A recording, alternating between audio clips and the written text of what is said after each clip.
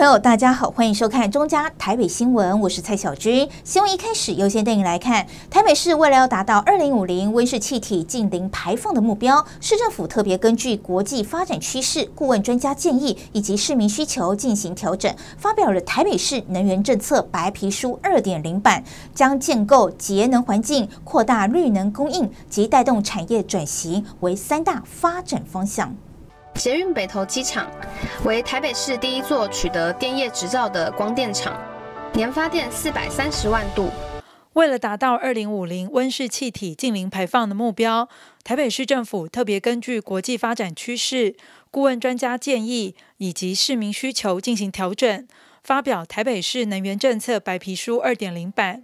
将以建构节能环境、扩大绿能供应以及带动产业转型为三大发展方向。特别选择荣景时光生活园区来做这个整个台北市能源政策二点零版的发发表，那有一个特殊意义。当然，这个老的这个台北行务所重新再利用，本身就是一个简惠永续发展的一个建筑。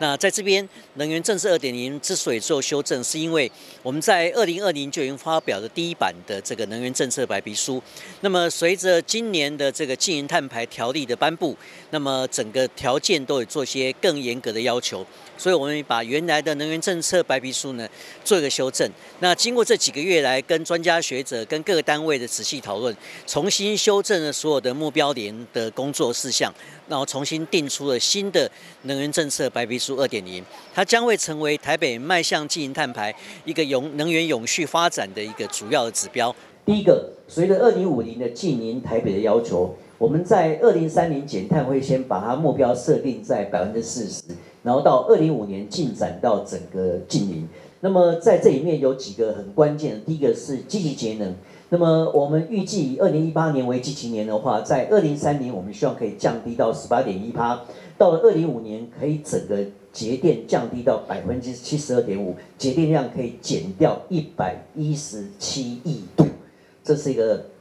我们必须要讲要非常努力，呃，结合全民一起努力的目标。好，那么在绿电的部分。我们也以这个二零一八年为基期的话，我们希望在二零三年可以累积增量到五倍，到二零五零年可以累积增量到七倍，这都是呃我们设定的一个目标。那未来有一些比较细部的重点工作呢，第一个是我们的追日计划，就是太阳光电，我们会持续的进行。那么呃二零三年目标是设定为包含五千千瓦，那么呃这个是我们会持续包含私有的黄地，包含智慧电网，包含私有黄色的补助。以及公民电厂，我们会持续的推动。其实，尤其是整个用电大户，它都必须包含绿电的比例，必须要增加到百分之十以上，至少。那么这一面我们会做辅导，那么逐步来协助。那另外在节电的部分，也要帮忙所有的中小企业跟我们工商业来做这个处理。那这也是证明，在过去，呃，在六都里面，台北市是唯一，呃，整个经济持续成长，但是它的节电是达到百分之三点三。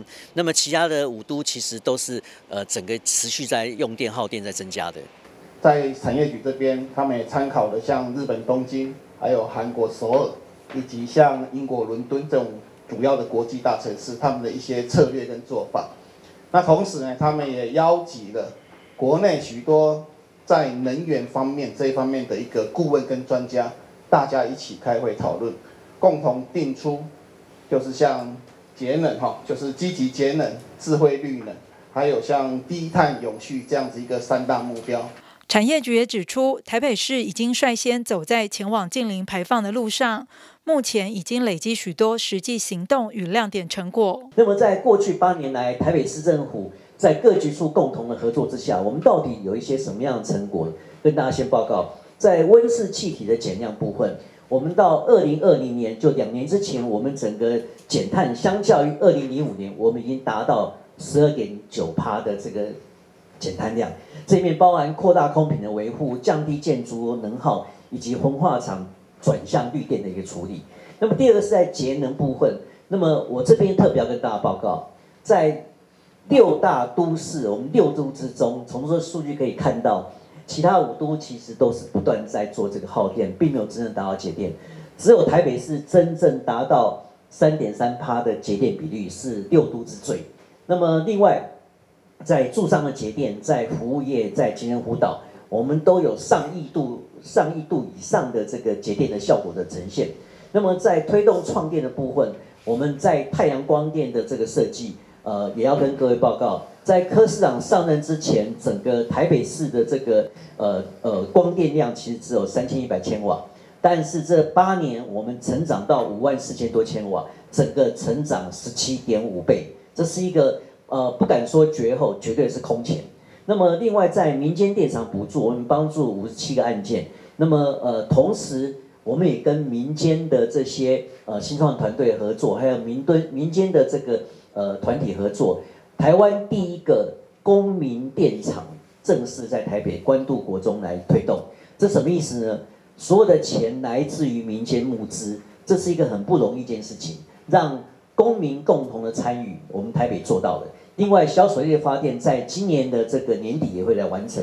那么，再其次是智慧电网的推动。这一面包含联合需呃需要竞价的推动，目前已经有五个暗场，那么我们预计会持续的扩展，在智慧电网部分有九个暗场的这个进行。另外在用电控管，我们有建立一个完整的电源管理的这个体系。另外在绿电凭证的交易，我们已经将近七百多张的这个呃再生能源凭证已经发表。推动近零排放，市政府将携手产业界共同努力，并配合公民参与及市民教育等配套，一起来营造宜居永续的台北市。记者陈淑平台北报道。在电影来看，第一社会福利基金会每年都会举办名人爱献馆义卖活动。今年多位艺人朋友共襄盛举，捐出了二手包包，将在十二月一号到八号在雅虎拍卖举行公益竞标活动。也特别邀请到彩妆教父 Kevin 老师担任宣传大使，举办童心宝贝时尚体验秀，为公益拍卖暖身宣传，也呼吁社会大众一起来关怀心智障碍的青年。第一社会福利基金会为了宣传今年的名人爱线馆二手包义卖活动，特别邀请彩妆教父 Kevin 老师担任活动宣传大使，指导心智障碍青年们进行童心宝贝时尚体验秀，展现出最自信的一面。也透过走秀展示多位艺人所捐出的二手包，呼吁社会大众能一起来响应二手包义卖活动。第一位我们看到的是小易，他手上拿的这个包包呢，就是 Kevin 我捐出来的。这个是来自 Balenciaga 巴黎世家，我觉得很多人年轻的时候都会非常喜欢的一款包。这个现在在柜上你应该也是找不到了。这个大小呢，非常适合这种两天一夜。现在大包又再次流行回来。陈佑今天背了一个后背包，非常好看的这个 High Sierra 的这个后背包，尼龙的材质。你看前方有一些非常。特别的这种部落的花纹，很可爱、很实用的包包，而且这个大小，我觉得所有的人都可以背，不管是男生女生。你看，帅哥陈佑背起来也很好看。谢谢陈佑。第三位是月娥，月娥手上拿的这个包包非常非常可爱。这款包包呢，我的印象当中应该是小燕姐捐出来的，非常可爱，色彩拼接。非常感谢刚才第一社服的俊男美女们为我们示范的走秀，不要忘了从十二月一号开始，大家一定要锁定第一社服的，不管是官网或者是脸书，这一次的名人爱线馆会透过雅虎的这个拍。拍卖的平台来做竞标，你一定要记得，我们是用竞标的模式，所以呢，你一定要每一天上去关注你的价钱，你喜欢的那个包包有没有被呃追价过去？比如说，如果你想要蔡依林的这一个。宝格丽的包包，或者是你看好可爱的喵喵包，迪奥的包包，或者是你喜欢我捐出来的这个 Balenciaga 的两天一夜的大包包，所以记得赶快锁定第一社服，不管是官网或者是脸书的粉丝团，来了解一下名人爱线馆这一次的爱心义卖。第一社服成立四十三年，是一个专注于服务心智障碍的组织。目前附设十二个发展中心，同时也服务双北社区里的身心障碍者及其家庭，每年服务超过上万名不同年龄层的身心障碍者。名人爱线馆的义卖活动今年已经迈入第十二届了。感谢许多演艺圈的朋友们捐出他们全新或者是有纪念价值的二手包包，让喜爱他们的粉丝还有大众竞标。这个义卖的金额呢，将会全数帮助我们心智障碍朋友的照顾服务。今年我们强调寻宝献爱，包您幸福，就是希望借由这个活动，响应物品环保再利用的精神，还可以将这个物品的价值极大化。化成爱心来支持童心宝贝和他们的家庭。这次的活动非常感谢天后蔡依林、Kevin 老师、小燕姐、莎莎、宋云画等十五位知名艺人共襄盛举，总共有二十一个包包等大家来竞标。活动会在十二月一号的中午十二点，在雅虎拍卖的平台上，第一基金会的卖场开放竞标，到十二月八号的中午十二点为止，最高价者得标。我们会在结标付款后的一个月内寄出包包和收据。详细的活动资讯也可以到第一社服官网的最新消息中了解。欢迎大家踊跃支持第一名人爱线馆的活动。第一社会福利基金会指出，今年活动相当感谢众多艺人的爱心相挺。竞标义卖活动将从十二月一号到十二月八号举行，欢迎社会大众踊跃响应名人爱线馆公益拍卖。一起来关注心智障碍者老化的议题，也帮助他们快乐学习与成长。记者陈淑平台北报道。您知道阿里山巨大的块木是如何用火车运下山的吗？国立台湾博物馆铁道部园区举办台湾林业铁道史录百年森光特展，展出阿里山、八仙山、太平山、林田山等六条林业铁道系统，从台湾林业的发展背景、特殊路线设计和运材技术，带领观众深入山林，探索林铁百年时光蕴含的价值及意义。林业铁道是台湾现代化进程中相当重要的一部分，其中阿里山铁路于一九一二年底通车，是台湾最早新建，也是目前保存最完整的林业铁道。展览展出阿里山、八仙山、太平山、林田山等六条林业铁道系统，从台湾林业的发展背景、特殊路线设计和运材技术，重现百年林铁文化。大概分成三个区啊，那第一个区是有关林业的整个背景，那我们把重点会放在呃高山的呃林木啊原住民啊这个部分。那第二个展区呢，主要是在讲运输系统，包括我们的铁路啊，后来发展出很很重要的呃索道系统啊，那山呃这个木头怎么样从山上山上到山下啊，这个我们会做一个完整的一个介绍。啊，第三个部分是有关于人的，哈，跟人跟我们未来的发展，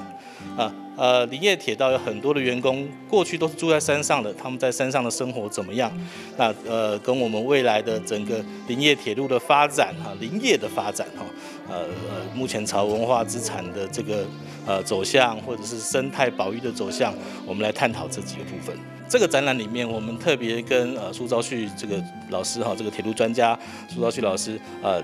这个商借了三辆啊，这个火车哈，这个这三辆火车都是呃跟高山运材哈，这个有非常呃重要关系的这个火车。那欢迎大家来展场来看一下这些精致的这个模型。呃，林业这个东西，其实在台湾的呃，就经济效益的这个收入来说，它发展时间大概就是二十世纪的这个前半段，大概大概六七十年，哎，到大概到这个呃一九九零年代左右呢，就完九一年就全面禁伐了哈，那一直到前几年才有林务局才提出所谓呃。国国产材哈的这个开发利用，啊，有序的呃这个这个生态性的来来来运用。那这过去其实我们呃几乎忘记了林业这个东西对我们有非常重要的一个台湾生活的一部分。那包括我们大概只记得林铁啊林业铁路，所以我们借由林业铁路啊这个载体哈来了解一下台湾过去曾经有这么一个。呃，山林的一个呃故事啊，山上的一些生活，然后呃这些产业的一个一个收益啊，包括它整个运输系统怎么发展，我们在这个呃这个展览里面都详细来说明。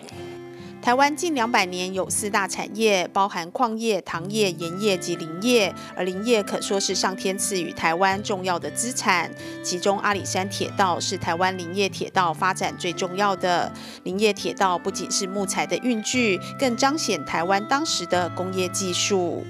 台湾在呃二十世纪初期的时候，那个我们的林业曾经是达到最辉煌的一个时期哈。那随着一九九零年哈这个呃宣布进发以后，那这个林业铁道也随着落幕。那目前仅存的这个阿里山铁道哈，我想它是呃目前担担任的这个功能，主要是那个客运哈运输运输这个观光呃游客以及这个观光的功能哈。那我想阿里山呃目前列为这个台湾的世界遗产的潜力点之一。那它有很特殊的这个路线的规划，哦，还有车厢，还有当时这个运材的一个技术，还有当时呃这个林业这个工人的生活的点滴。那我们这一次特别展出这样的一个历程，哦，呃，我们是希望探讨那个呃两个议题。第一个议题是有有关这个环境生态保护的议题。那呃，另另外另外一个议题就是有关文化资产的议题哈。那我想，它既然已经目前具有台湾文化资产的身份哈，台湾这块土地如果算起来啊，最早原住民啊居住在这里，大概至少有五年五六千年。那如果从建成啊，就从河西建成，大概也将近四百年。那如果说最现代化，应该从日治时期。大概啊有两百年，林业大概在台湾大概就是上天赐给台湾最重要的资产。它除了提供我们建筑的材料以外，事实上它也提供了环保以及文化观光等功能。那其中还有一个更重要的，其实就是山林在呼唤我们，其实就是台湾人民内心之中。最深刻的心灵故乡。那但是不可否认，在山林开垦过程之中，也产生的很多的破坏，尤其对原住民。原住民因为山林的开垦，其实产生很多悲欢离合的故事，甚至他们的文化、语言，甚至土地的流失、迁徙，这中间也有很多的故事，包括大爆社事件，包括。啊，我们知道的雾社事件啊，不过不管怎么样，在这些事件过后，我们也都这个台湾这个土地也都开始沉思啊醒悟。那其中在这里所有的山林发展中，阿里山大概是所有里面的林林业啊发展里面啊最重要的。它不只是林业发展，它还有原住民的文化发展。它有铁道文化，各式各样的啊文化在我们的啊啊它我们的阿里山铁道发生。那在阿里山铁道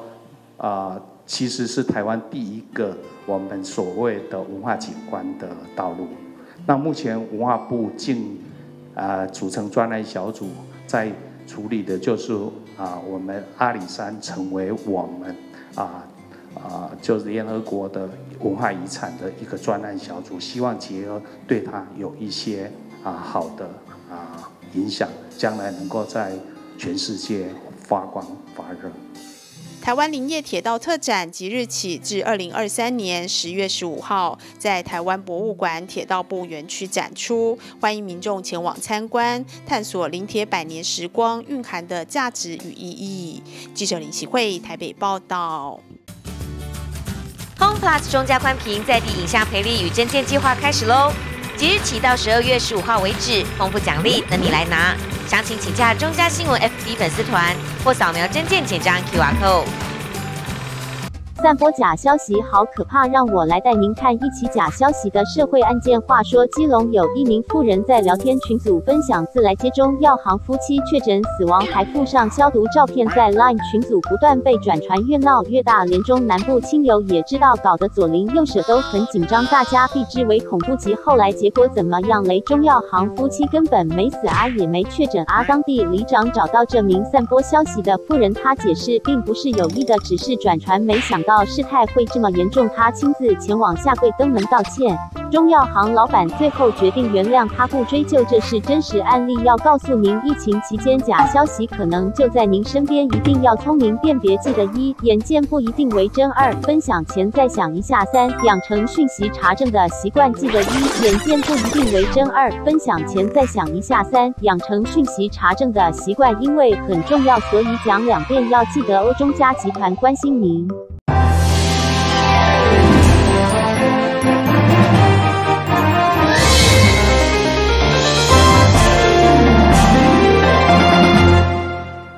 外食族群逐年增加，台北市卫生局维护消费者食用即食食品的卫生安全，下半年执行稽查专案，针对餐饮店、传统市场店面、超级市场等即食食品进行抽验，二十家业者初查就有十五家业者有卫生闪失。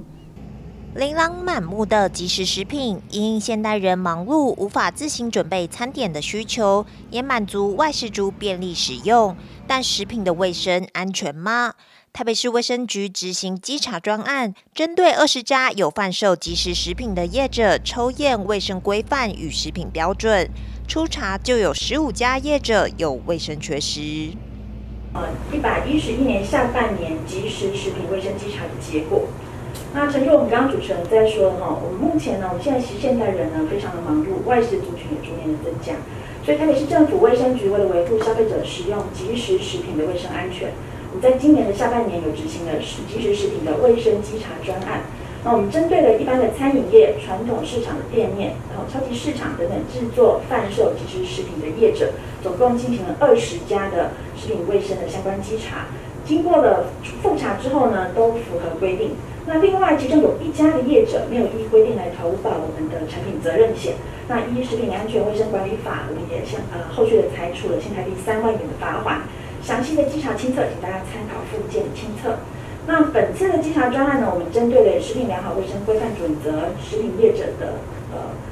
登录以及食品标示查核、食品业者的产品责任险等等四个面向来进行检核。那初查了十五家业者有卫生缺失，我们统计了前三项的缺失呢，为食品业者。从业人员没有健康检查证明，没有废弃物的清运记录，没有肉品的进货来源。那经限期改善之后，复查结果都符合规定。那依照食安法第八条的规定呢，食品业者应该要遵守食品良好卫生规范准则。那如果违反规定，经限期改善，借期未改善者，我们可依同法第四十四条第一项第一款规定，处新台币六万元以上两亿元以下罚款。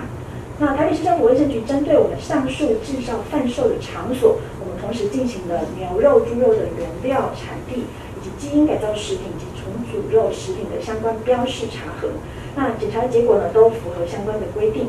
那此外呢，我们也依同法的食安法第十三条的规定，我们经中央主管机关公告类别及规模的食品业者，都应该要投保产品责任险。那未投保的人，可依同法第四十七条第一项第五款规定，处新台币三万元以上及三百万元以下的罚款。卫生局也提醒业者与消费端需注意的买卖准则。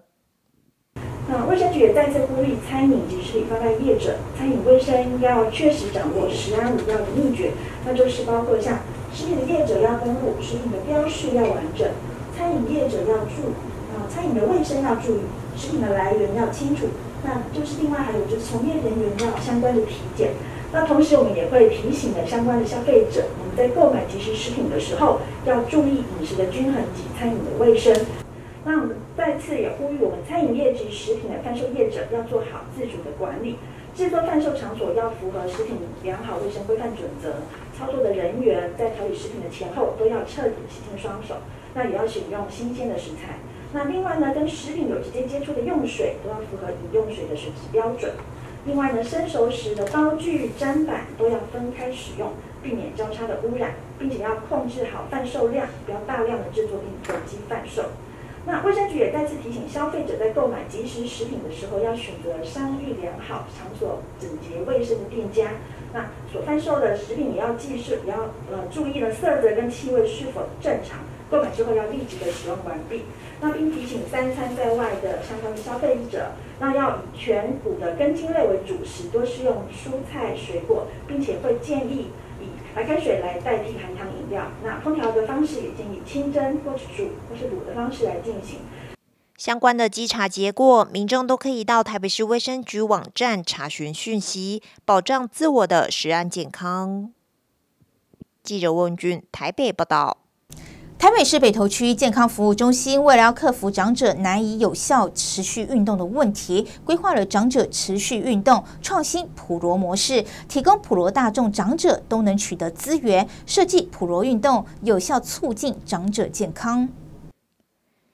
为了养成长者的持续运动习惯，台北市北投区健康服务中心规划长者持续运动创新普罗模式。结合公益团体丰沛的实体、线上课程及影音资源，提供长者持续不断的普罗资源。长者可以依照自己方便的时间选择课程，课后还可以看影音资料延伸学习。那我们知道台北市老年人口快速上升，而长者如果没有持续运动，肌肉量每年都会减少百分之一到百分之二。那他的肌少症。衰弱还有跌倒的风险就会大为增加，那会严重影响到他的健康跟生命安全。所以本中心特地规划长者持续运动的创新普罗模式。那所谓普罗模式，指的就是要适合普罗大众的服务模式。那依据我们以往推动的经验，社区长者会反映的第一个问题就是，啊，运动课程名额太少了，报的不到名啊，或是。啊，地点不方便啊，没有办法持续上课，所以本中心特地去结合了啊公益团体来办理啊，包括实体跟线上的课程。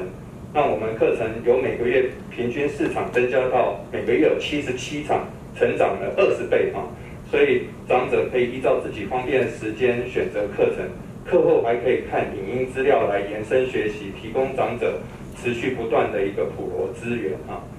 那长者反映的第二个问题就是觉得，哇，这些运动的动作太难了，太复杂了，有老师带我才会做，回去就忘了自己不知道怎么做哈啊，所以本中心特别挑选了那个不竞速，找到不累点的放松觉察跑，还有配合呼吸简易伸展的一个静心呼吸瑜伽，提供长者只要体验一次就可以学会的普罗运动，所以让持续参与的长者达到六百二十三位。那以前参与比例很低的这些男性呢，也从个位数成长到加接近百分之四十哈。然后长者反映的第三个问题就是，啊，长者常常会觉得哇，运动好累哦，啊，或是身体那边酸那边痛不舒服啊，或是啊有事事情啊要照顾孙子啊，要要跟朋友出去吃饭啊，没有时间，结果就没有持续运动了哈。啊，所以本中心特别使用 Google Fit。来来自动记录长者他每天的运动步数跟心肺强化分数，他就可以轻松进行普罗追踪，了解长者持续运动的这个情况，然后可以定期给予鼓励啊，然后让参与长者可以平均步数达到七千步以上，显示长者已经养成了持续运动的习惯啊。健康服务中心也在社区广设普罗健康站，提供一致性的三高及体组成检测工具，让长者可以每个月就近进行普罗评价。健康站也发现，持续运动的长者，骨骼肌率增加，体脂肪率皆有下降。对很多事情显得兴致缺缺，不愿意再动。那他要放弃的时候，刚好接触了到我们的普罗运动，那开启了他另外一个丰富的人生。回复了跟太太一起去运动，两个人可以互相扶持的参与，成为朋友间的神仙眷侣。那也交到了许多的朋友，那参加各式各类的活动。那他在离病前的话，一周一天的步数不到两千步。那等参加普罗运动之后，现在平均每日是有四千多步，成长的两倍，甚至单日的话可最高到八千多。那让人家更惊艳的部分是它的体组成跟骨骼肌率改善优于一般学员的平均值，效果是非常的显著。这样可以看到我们的长者持续运动的创新普模式，提供一条龙通用完整智慧的服务，让长者可以一见钟情，体验一次就爱上运动，还要一直爱不完，持续的有效运动啊，收获好评哈。所以有兴趣的民众欢迎加入我们的北投好健康 Light。长者常因为觉得累、身体不舒服，会有事情没时间，导致运动半途而废。透过健康服务中心的规划，定期给予奖励，让参与课程的长者成功养成持续运动的习惯。记者温俊台北报道。向贫穷者学习行动联盟举办的“贫穷人的台北”，带领民众探讨贫穷的议题，同时开启不同族群对家的想象。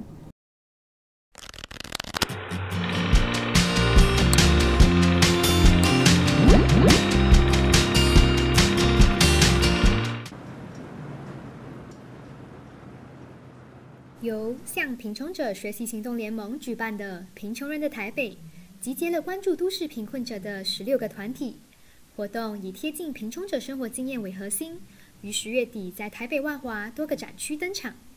不同以往的是，今年活动扩大规模，以“贫穷嘉年华”为主题，透过深度走访、议题讨论等多元互动，带领民众探讨贫穷议题，同时开启不同群体对家的想象。我们最大的动机其实是让大家去重新认识跟定义贫穷这件事情，让大家去认识说，而且贫穷经验者并不是大家想的这么的危险，也不是大家想的这么的不堪，这么的没有力量。我下课都会来这里，然后我总共认识二十几个，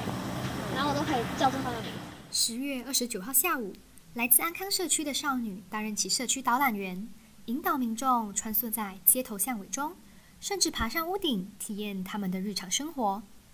这是主办方为了让民众看见贫穷者日常生活模式与困境而准备的活动。作为九条走读路线之一，致力于关照安康社区儿少的团体微光盒子，更在走读结束后准备了酱油拌饭、关东煮泡面，让参与者品尝居民们平时会吃的食物。参与民众也有机会和社区青少年对谈。借此深入了解他们的生活及想法。我们这次也培培训了两位孩子，尝试去分享自己的生命经验。但我们比较没有想要承认说，哎，孩子改变很多，变得很真相，就那种励志的故事。我觉得没有必要，他们是怎样就是怎样。我们只希望让他们最真实的样子呈现在社会大众面前。过去的我总是不断的被抛弃，就像是在瞧不起我，让我感觉到恐惧。贫穷嘉年华的展览由十六个展间共同组成。分别展示边缘少年、无家者、精神失序者、情欲产业工作者等不同族群的日常，以视觉及听觉带领民众认识贫穷者的真实生活，期望打破贫穷者消极落魄的刻板印象，让大众重新认识他们。拨开那些可能就是经济上或是可能在机会上可能有一些。选择上的落差之外，就他们会讲的话，你会喜欢做的事情，然后平常的习惯什么，其实认真讲，就是好像没什么差别。贫穷嘉年华将多方组织串联在一起，除了增进不同议题的交流机会，也借由合作扩大影响力。民众参与其中，不只能翻转大众对于贫穷者的认知，也能一同探讨家对于不同社会阶层的意义。主办方也期盼持续建立对话空间，让社会大众与贫穷经验者相互理解，并肩而行。记者赖依安、邓心怡台北采访报道。一年一度的白昼之夜活动强调接地气，今年不止邀请年轻创作者团体，著名的 Podcast 节目主持人也来活动现场进行讲座，各式的艺文活动在士林周边的四大活动园区轮番上阵。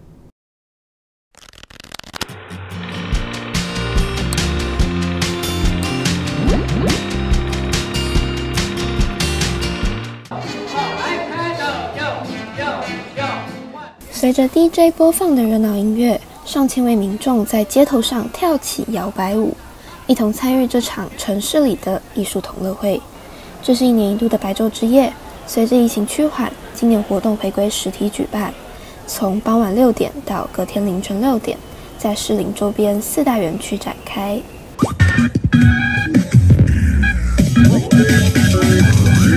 今年强调接地气的白昼之夜，邀请了许多新生代的年轻创作者团体，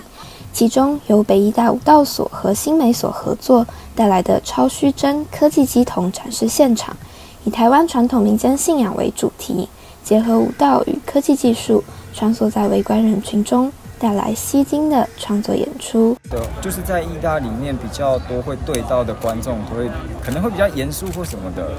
然后，可是我们这个演出其实有点强，然后，然后我是觉得蛮好笑的，就可以跟大家玩这样。知道是在呃白昼之夜的这样子户外场地的时候，那我们也因应这样有一些调度上会变成让用表演去带领观众的视线。除了今年刚开幕的北艺中心外，白昼之夜的活动范围横跨了科教馆、天文馆。儿童新乐园和士林官邸等四个园区，吸引了四十多万人涌进士林。不过，过量的人潮也造成整场拥挤。士林夜市所在的文林路上更是挤得水泄不通，也引起民众对于动线规划不良的批评。然后刚刚是很多活动挤在那个士林夜市那个大马路，可是可能同时有一两个、三个一起的时候，整个都塞住了。其实都看不太到，因为人有点太多了。虽然白昼之夜活动后有民众反映。动线规划标示不明，导致观赏体验不如预期。但新奇有趣的作品展演，为适龄的夜晚炒热了气氛，也吸引许多民众到访，在习以为常的街道上感受艺术的魅力。记者江山何宇台北采访报道。第六届人权办桌在青岛东路举行，邀请政治受难者与无家者们在寒冬中用餐，感受一场充满温度的人权飨宴。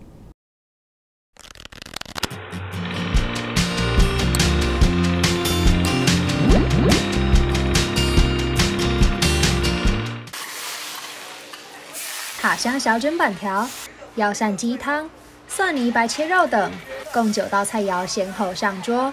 第六届人权办桌选在十二月人权月，于昔日军法处的青岛东路旁举行，席开二十四桌，邀请政治受难者与无家者们在寒冬中热闹开饭。半桌现场嗨翻天，吃饭聊天之余，也少不了炒热气氛的娱性节目、卡拉 OK 欢唱以及香肠与肉干的西巴拉比拼。更有抽奖活动，让参与者收获满满。虽然说大家可能彼此不认识，但是大家还是会很乐意去跟大家一起分享，去跟人建立一些情谊。圆桌上的菜肴代表着政治受难者与无家者的生命故事。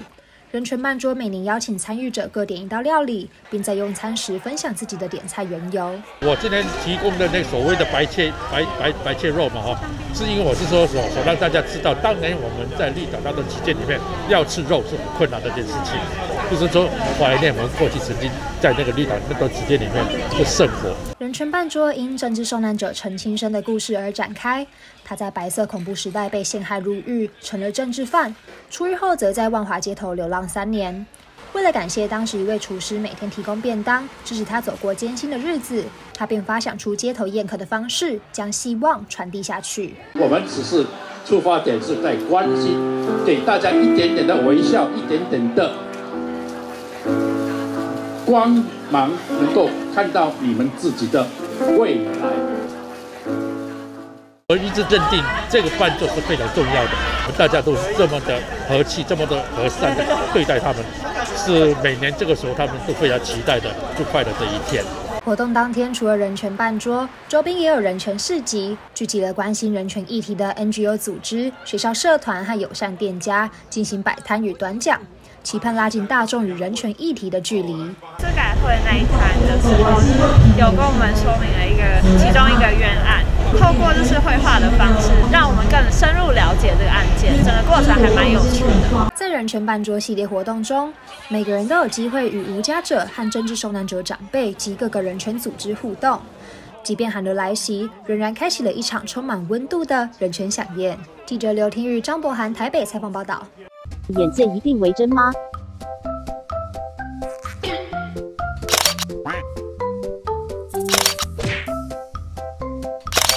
我们换个角度来瞧瞧。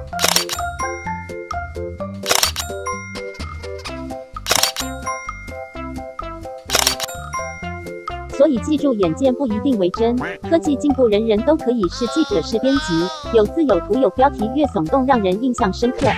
作者可能只是太无聊来玩玩而已。另外还有照片合成技术造假就更容易，还有现在很夯的 AI 技术可以移花接木，不是他说的都会变成他说的，那该怎么办？教你简单小贴步：一、看到消息前先想一想，这会不会是假的？二、养成查证讯息的习惯，看看新闻来源、作者还有日期，更要透过各种管道来查证。破解假讯息行动四不一要：不要只看标题，不要分享，不要按赞，不要惊慌，要查证，要查证，要查证。中嘉集团关心您。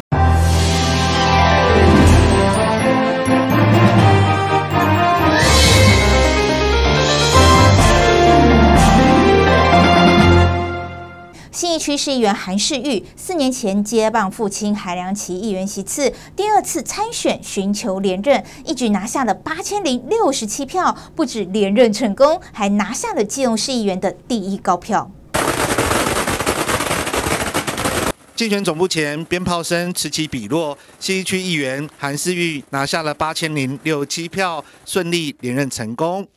拿下全市第一高票，韩世玉在选民的簇拥下发表感言：干爹、干妈，那以及呢叔叔、伯伯、阿姨、姐姐、婶婶，还有哥哥、弟弟，还有老师、兄弟，大家谢谢你们，感谢你们。连续几天站在路口谢票，感谢民众支持，能够一举拿到八千多票，证明四年的服务受到选民肯定。都都大家照顾，大家照顾，真的谢谢。高票，谢谢。高票。那个非常感谢。我们各位我们乡亲各位好友哈，那谢谢。大家呢对思域的肯定以及支持哦。那思域呢真的非常的感谢大家，也没有想到说呃这次的话。呃，会有呃这么高的一个票数哦，那在此呢，真的非常的感谢，再感谢。那思域呢，一定会更加的努力，全力以赴，用心服务。那让呢我们的各位民众呢，大家能够有感到呃思域的更热情的一个服务哦。我觉得这个部分的话是最重要的。服务处助理电脑中排满整天的行程，就连辅选团队执行长许国仁都很佩服韩世玉的铁人精神。我是从韩良启议员一直到韩世玉议员，我都在服务处帮忙。那给我的印象是说，台语说“家母那边得要做堂会，免惊无产堂的”，他们父子就是日日夜夜的，就是一直做。就只有一个字，一直做，一直做，一直做。因为我们常常服务的对象，我们服务了半天才知道他是安乐区的，他是仁爱区的，哦，他是重症区过来的。但是我们依然是勇往直前，因为我们知道基隆市的市议员是属于基隆市的，我们不会因为选区，也不会因为选举，所以我们的服务处服务案件特别多，但是也真的很辛苦。但是我们不怕累，因为我们看到两位议员前后任的议员。都是身先士卒，他们一直在奔波，一直在奔波，一直在累。看到他们穿破了好多双鞋，是不是觉得哦，我们最重要的还是民众，哦，我们民意，我觉得民意才是，哦，我们常讲的王道。那所以呢，我们不能够说有党意，或者是呢有任何的呃其他的所谓的政党政治的这样一个想法哦。那我觉得说呢，始终还是站在民众的立场。来去监督我们市政，那才是我们民众之福哈。啊，常常呢，大家会讲啊，啊，尤其咱的一个十八期当侯市长讲，咱好好做事情，所以呢，我们好好做事情，那为大家呢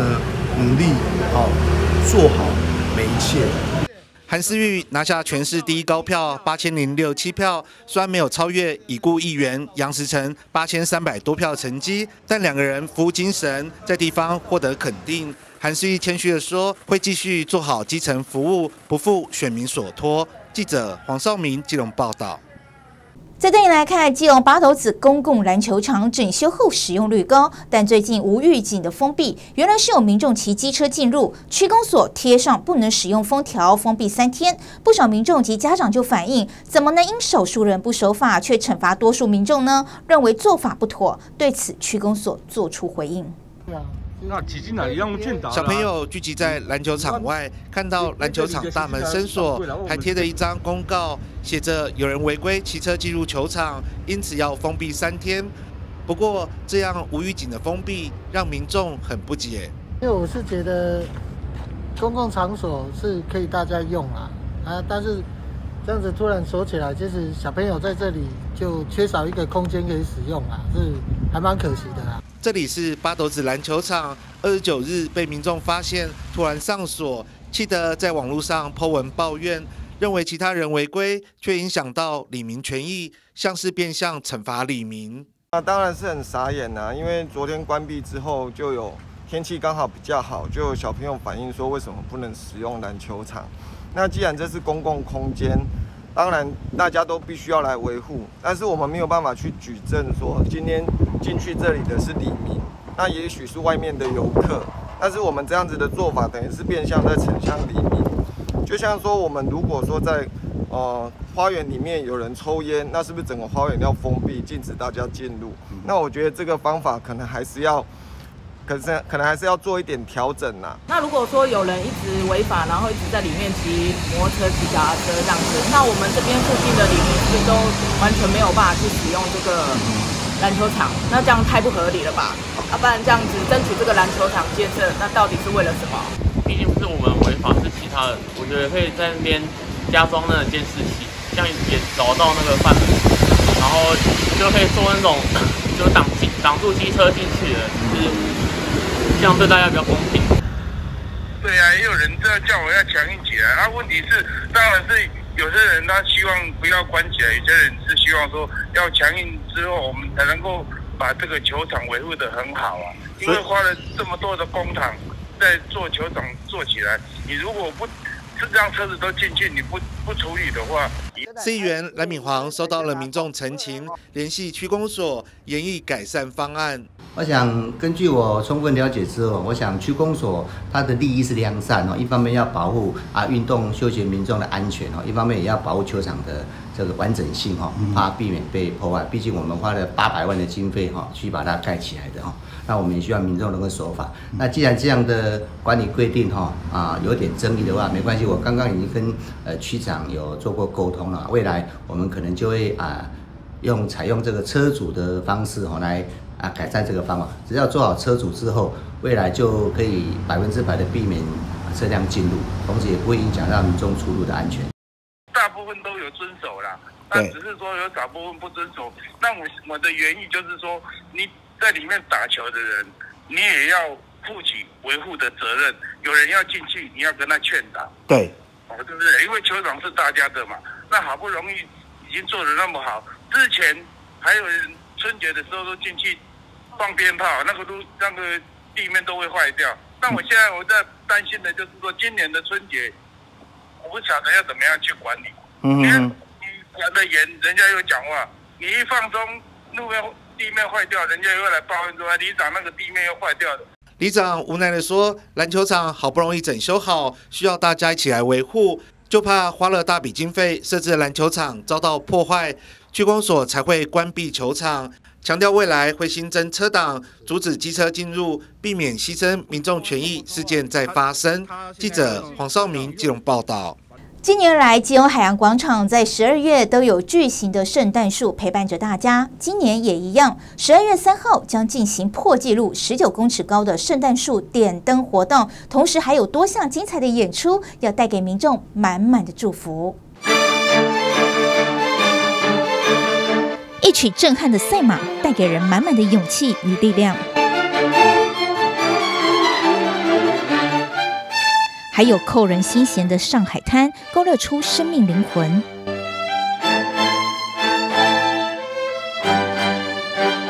多次参与大型活动演出的基隆城市爱乐，在十二月三号海洋广场将带来多首脍炙人口的歌曲，在点灯中要带给大家满满的感动。我们是基隆城市爱乐，那这里后面是我们基隆城市爱乐的团练地址。呃，基隆城市爱乐成立五年多，团员来自于基隆市民各个不同年龄阶层、社会阶层的人士。那各位如果对于弓弦乐器有兴趣的朋友，可以上基隆城市爱乐的粉丝团来与我们联系。最主要十二月三号的晚间，我们在海洋广场有圣诞点灯的活动，而且今年的圣诞树是特别巨型的。呃，呈现方式，希望各位市民朋友在十二月三号晚间来海洋广场聆听我们基隆城市爱乐的演出。当然，各位朋友如果对于呃拉琴有兴趣，又觉得自己孤单的话，可以一起来加入我们的演出。我们平日呢也参与了很多基隆当地或是外地的公益性质演出，节目都很精彩，欢迎各位一起来加入。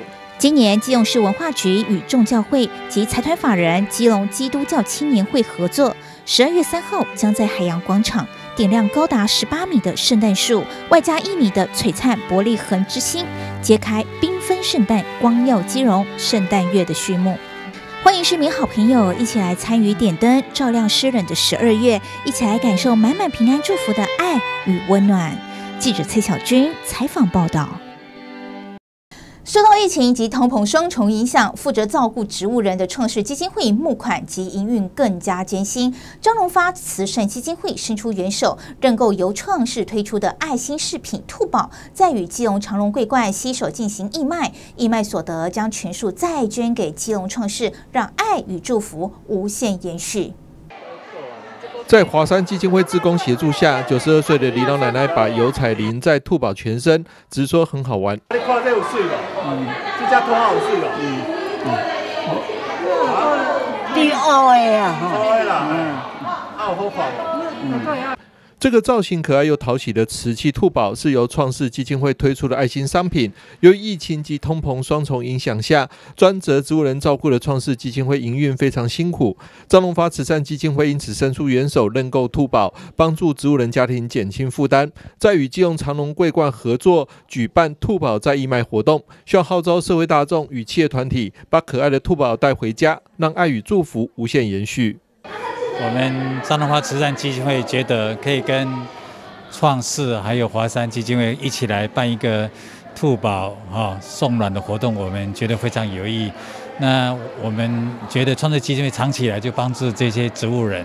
那华山基金会就照顾一些老人。那我们可以结合我们长隆桂冠的力量，把这个爱心传播到社会上面去。我们也希望能够邀请社会上更多有爱心的人一起来做相关的爱心活动。这个公益活动是非常有意义的哈。那我是身为这个啊基隆在地的一个饭店，那我也希望啊由我来引起啊基隆在地的呃这些百姓，然后一起大家一起来做这个公益。创世方面表示，照顾植物人一餐就需要五十元，因此对于张荣发慈善基金会与基隆长隆桂冠及时援助非常感激。因为疫情的影响，所以其实对我们创世基金会全台的基创世基金会其实影响都非常的大。那植物人安养经费，不管是饮食或是卫生用品的部分，其实都是影响非常的大。好，善款也都有减少这样子。那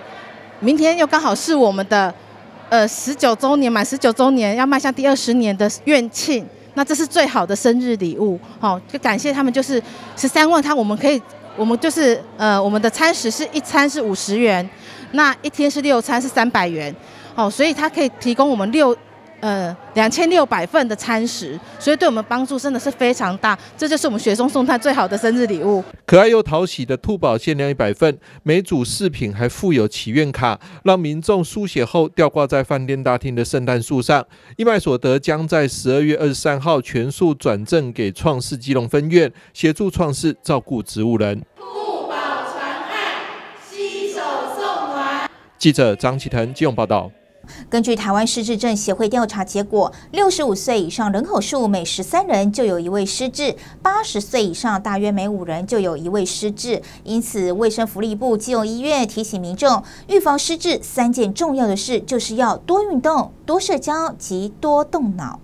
根据台湾失智症协会调查结果，六十五岁以上人口每十三人就有一位失智者，八十岁以上大约每五个人就有一位失智者。卫生福利部基隆医院新任院长林三奇在医疗记者会上表示，预估再过几年，台湾将进入超高龄化社会，失智和长照的问题越来越重要。大概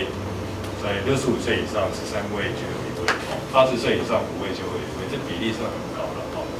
那台湾预计在二零二五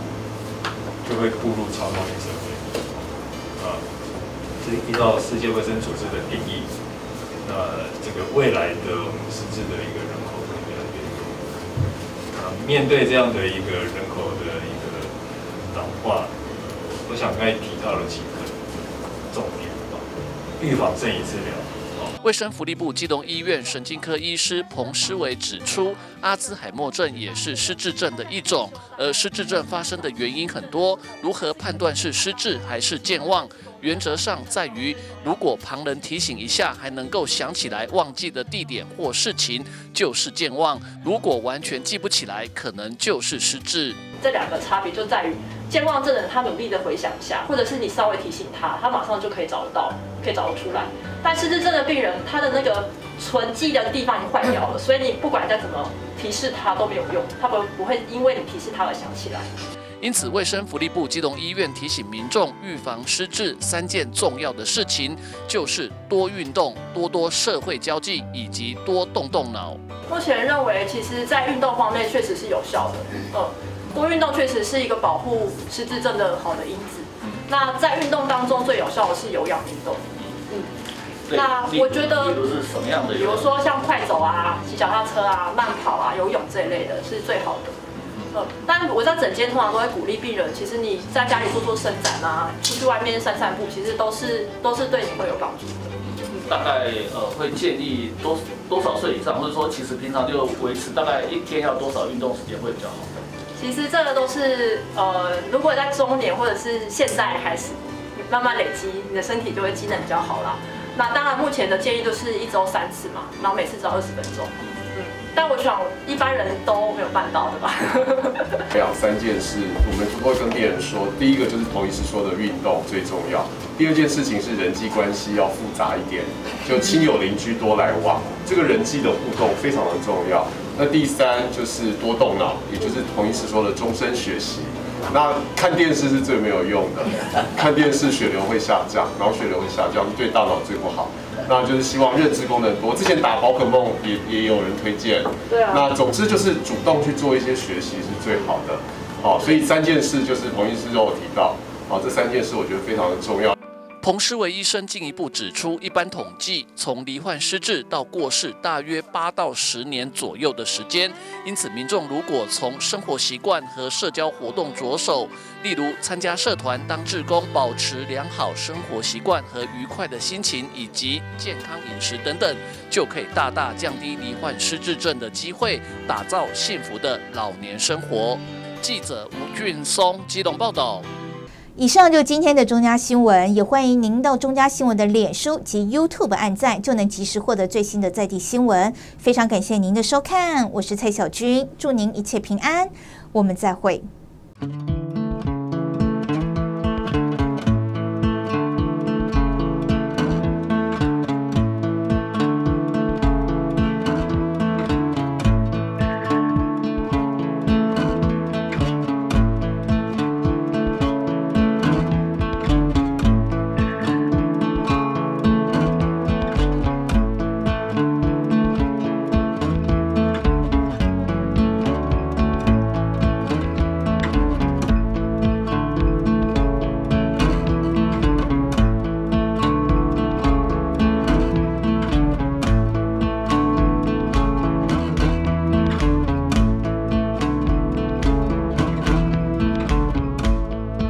散播假消息好可怕，让我来带您看一起假消息的社会案件。话说，基隆有一名妇人在聊天群组分享自来接中药行夫妻确诊死亡，还附上消毒照片，在 LINE 群组不断被转传，越闹越大。连中南部亲友也知道，搞得左邻右舍都很紧张，大家避之唯恐不及。后来结果怎么样？雷中药行夫妻根本没死啊，也没确诊啊。当地里长找到这名散播消息的妇人，他解释并不是有意的，只是转传，没想到。事态会这么严重，他亲自前往下跪登门道歉。中药行老板最后决定原谅他，不追究，这是真实案例。要告诉您，疫情期间假消息可能就在您身边，一定要聪明辨别。记得一，眼见不一定为真；二，分享前再想一下；三，养成讯息查证的习惯。记得一，眼见不一定为真；二，分享前再想一下；三，养成讯息查证的习惯，因为很重要，所以讲两遍。要记得，欧中家集团关心您。